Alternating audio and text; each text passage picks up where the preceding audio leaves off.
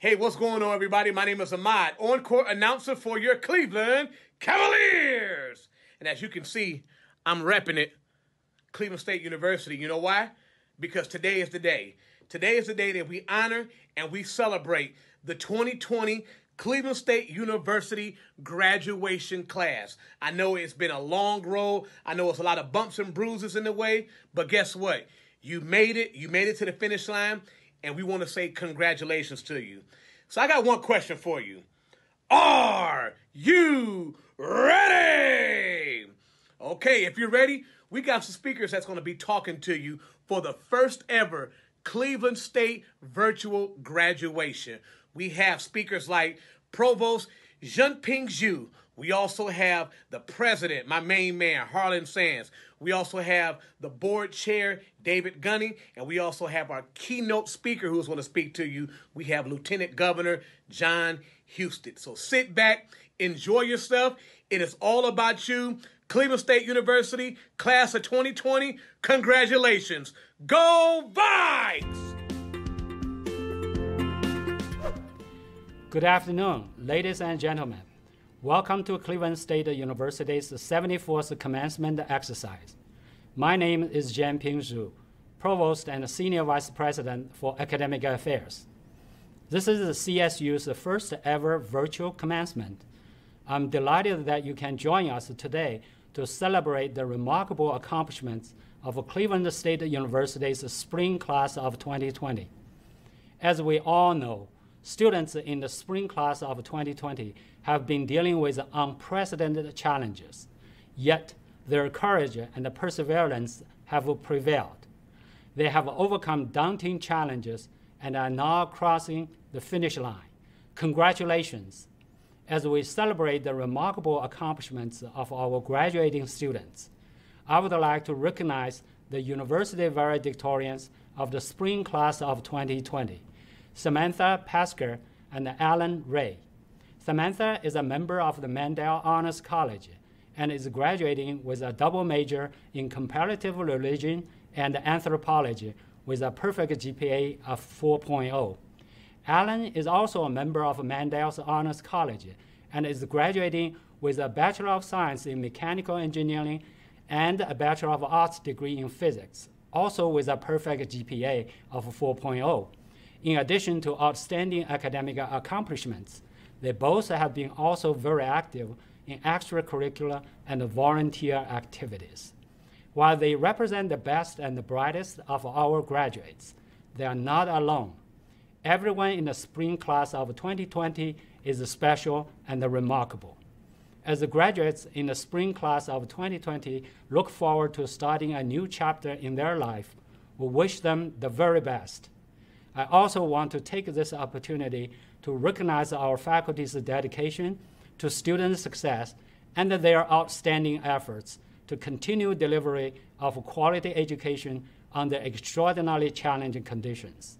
Over a very short period of just 10 days, they converted more than 2,000 classes to remote delivery.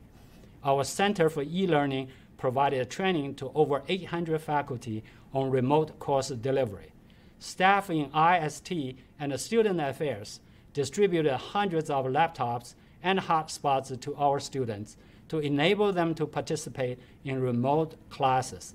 And our advising staff followed up on over 2,000 alerts to help our students remain engaged and stay on track. It is truly a campus-wide team effort to help our spring class of 2020 cross the finish line. It is now my great pleasure to introduce President Harlan Sands to address the spring class of 2020. Good afternoon, graduates. I'm Harlan Sands, President of Cleveland State University, and on behalf of the entire administration, faculty, and staff of CSU, it is my distinct honor and privilege to welcome you to our first ever virtual commencement. Today, we honor the achievements of more than 2,200 undergraduate, graduate, and doctoral students, making this one of the largest graduating classes in the 56 plus year history of Cleveland State. Let me begin by stating the obvious that a virtual commencement was not part of our plan. There is nowhere I would rather be than in Wolstein Center, doing this live, shaking 2,200 hands, and using two full bottles of Purell over eight hours. I want nothing more than to give you the graduation you so richly deserve, to give you the opportunity to celebrate with your parents, grandparents, children, families as you walk up on stage and wave and get the shout outs from everyone that you have earned. But our world and your senior year didn't turn out the way we planned. So today, I will honor all of you by sharing a couple of thoughts, four things you most certainly can take away from your time at CSU and feel proud about what you have done. First, a sense of incredible discovery. Think back to your early days and weeks on campus, how new it all was.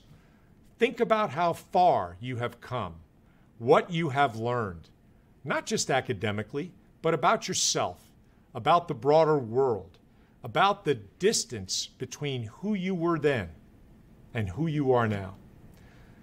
Second, have a sense of exponential growth, personal growth, emotional growth, intellectual growth, the ability to see the world from a new and different perspective, to have empathy for others, to understand that we continue to grow as human beings our whole lives. Third, a sense of community. By attending Cleveland State, you became part of something larger, our CSU family. You saw firsthand the diverse views and life experiences of other students, of our faculty and staff. And all of this enriched your time here. And today, you join our more than 140,000 global CSU alumni as a Viking for life. So, welcome. And last and most appropriate for today, I hope you feel a sense of monumental achievement. You have accomplished something truly remarkable. Many of you may be the first in your family to graduate from college or to achieve an advanced degree. Many of you may have supported yourself through some or all of your time at CSU by holding down a job or two or three, by squeezing in studying at all hours of the day and night, by raising kids at the same time. Many of you are graduating with honors. Please raise your hands right now and scream yes if any of this describes you. Come on, you've earned it. And then, as you were two months away from graduating, we shut it down for your own safety.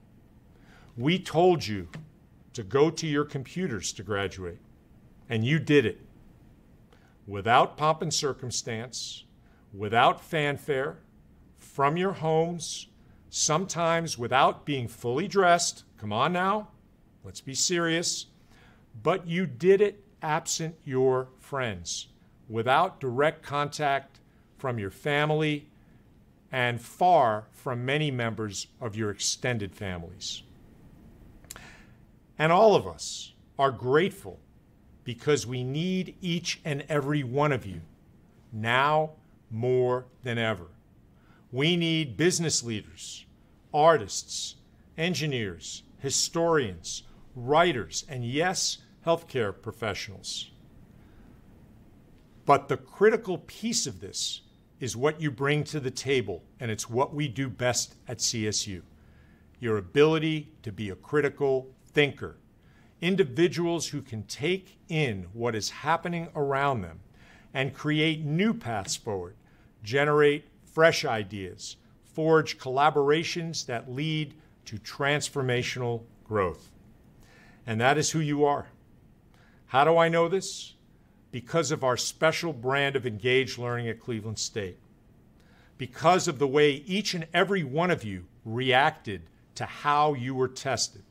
You did not stop, you never surrendered, you closed the deal. And although you're entering a very different world from the one you expected, it's a world that needs you. And as you wade through these uncharted waters, I leave you with three pieces of advice. Always be a lifelong learner. Question everything. Remember that every day is a new day. Leave the past behind. It's the key to resilience. And three, always remember where you started and where you came from. We salute the great class of 2020, the class that never, ever gave up. Thank you all. Enjoy the rest of today's virtual commencement and go Vikings. Good afternoon. On behalf of the Board of Trustees of Cleveland State, I want to congratulate you on this wonderful achievement. I wish I could be there in person to watch you walk across the stage, shake President Sands' hand, wave to your family, smile, maybe even shed a tear or two. And one day we'll get to do that again. But for now, we get to congratulate you via the digital age, via Zoom kind of the way of the world right now. But as a Cleveland State graduate, we know we've armed you with the skills, knowledge, and ability to tackle any challenge. The last three months have been unusual. Maybe they've caused economic hardship. Certainly, they've interrupted your day to day routine in some way or fashion. Your family's had to adjust, and you've had to adjust. But with a Cleveland State degree, you've got this amazing stamp of approval from an amazing university.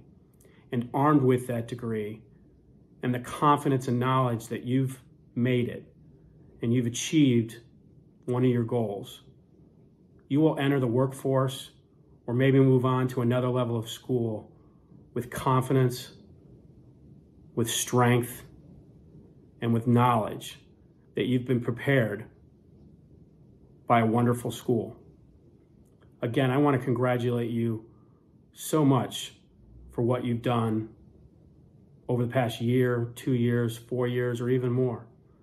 And someday I hope to shake your hand and pat you on the back in person. But until that time, take this degree, go off and do great things, and be proud to be a Viking.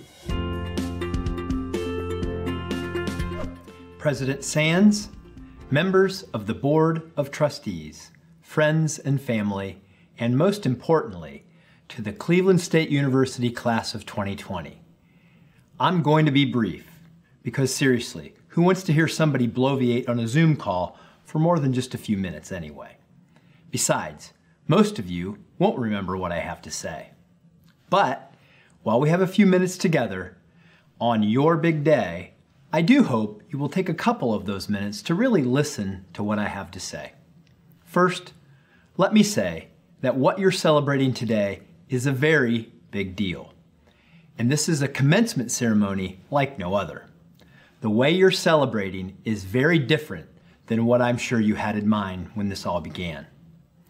But building resilience, learning to rise above adversity, and understanding how to see a barrier in your path as a challenge and not as a deterrent are all part of the college experience, and it is also part of life. Congratulations, you've made it this far and you have earned today's recognition. That brings me to the first lesson of this commencement address. In our world and in our own lives, we should celebrate what we value, and we should all value education. Congratulations on your graduation and a special thank you to those who supported you in your journey.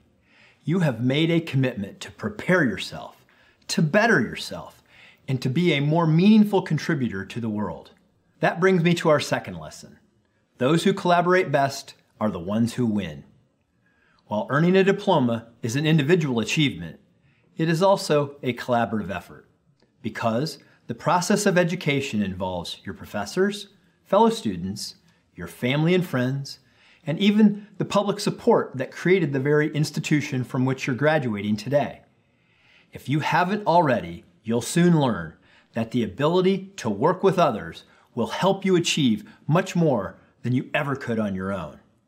As six time NBA champion Michael Jordan astutely said, talent wins games, but teamwork and intelligence wins championships.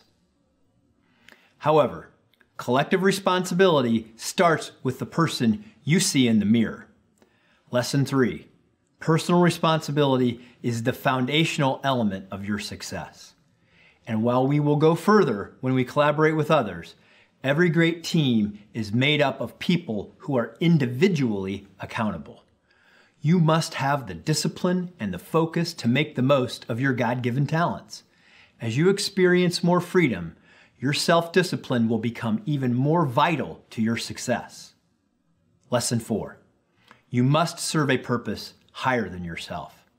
As Mahatma Gandhi said very well, if you want to find yourself, lose yourself in service to others. Fulfillment in life is not about job titles, how much you make, what kind of car you drive, how famous you are, or how large your bank account is. Money and fame sound really great, but I've met many wealthy, popular, and unhappy people. Have a purpose. It will enrich your life and give you fulfillment and meaning. And finally, always choose love over hate. I know this sounds easy, but often in our daily lives, we forget this. Think of every situation you confront in life and think how it might have turned out differently if you had responded with kindness instead of anger. When our pride is wounded, when we get emotional, or when we don't get our way, it's not our instinct to respond with love. We're more likely to lash out or even run away from hurtful moments, often making the problem even worse. It was Reverend Dr. Martin Luther King, Jr., who wisely said, I have decided to stick with love. Hate is too great a burden to bear. I often describe life like climbing a mountain with no summit. It's a journey, not a destination. When you think you get to the top of that mountain, you realize it's just a hill and you still have many miles to go. May you be blessed in your life's journey.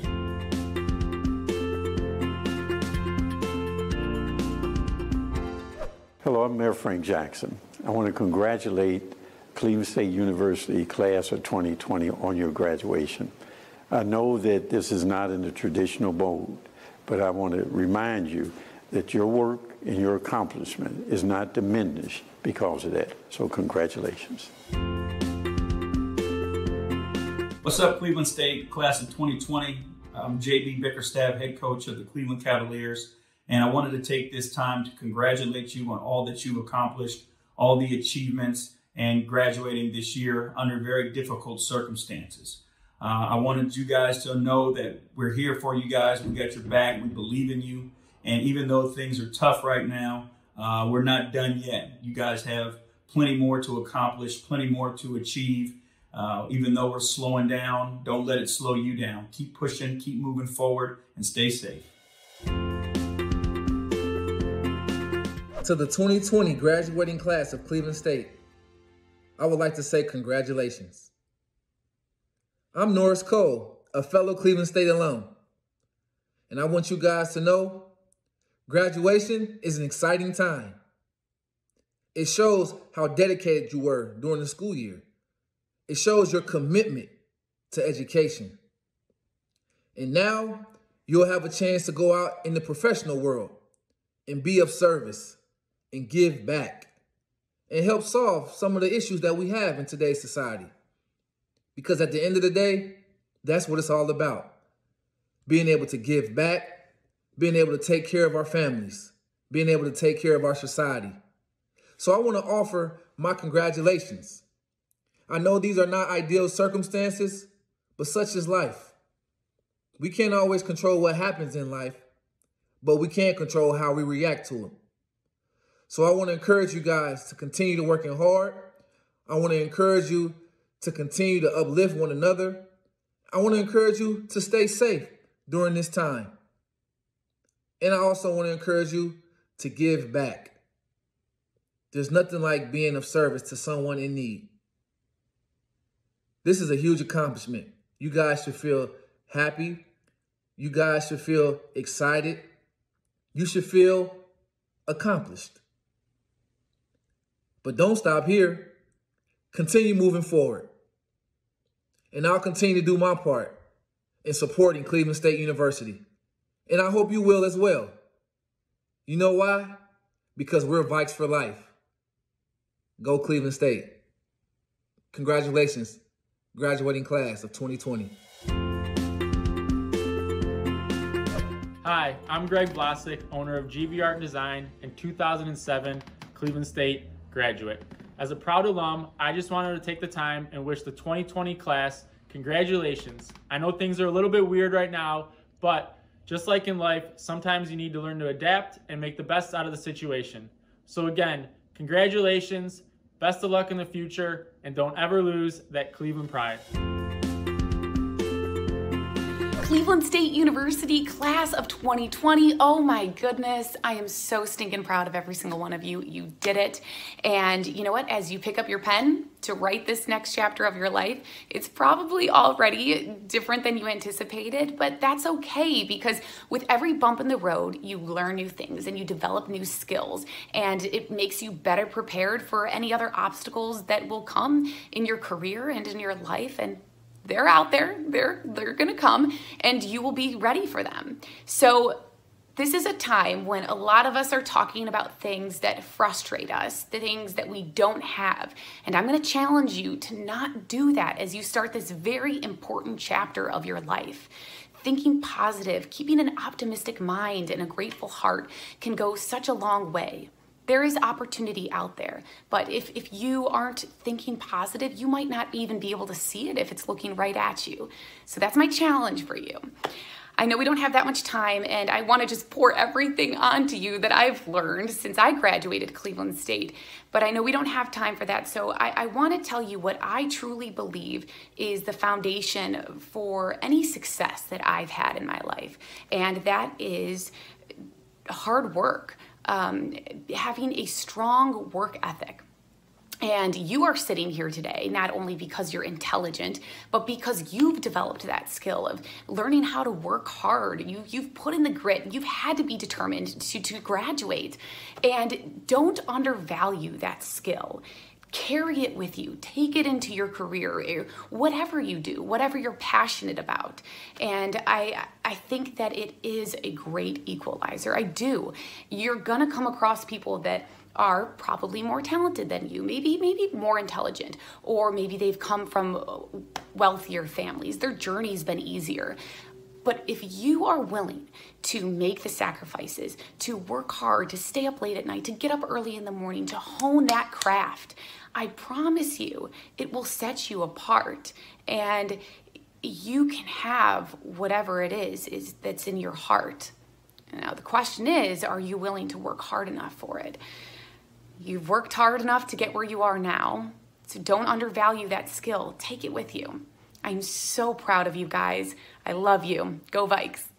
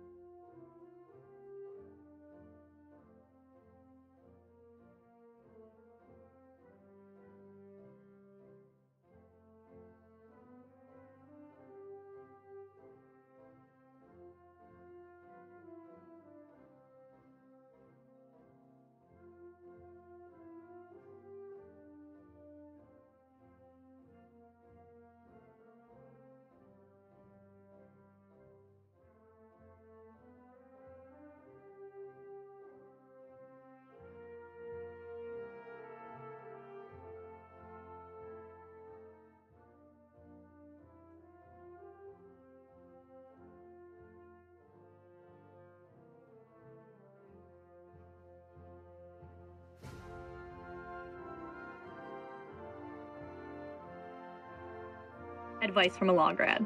Number one, you have the right to remain silent, and anything you say can and will be used against you in a court of law. Number two, tell them to come back with a warrant.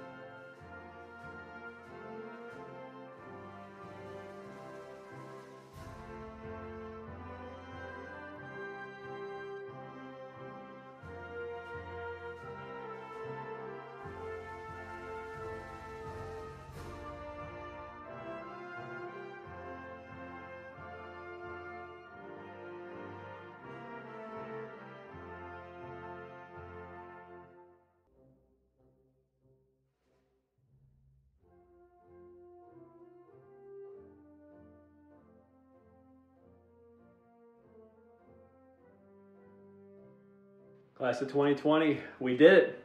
It's about all for me. Told me shout.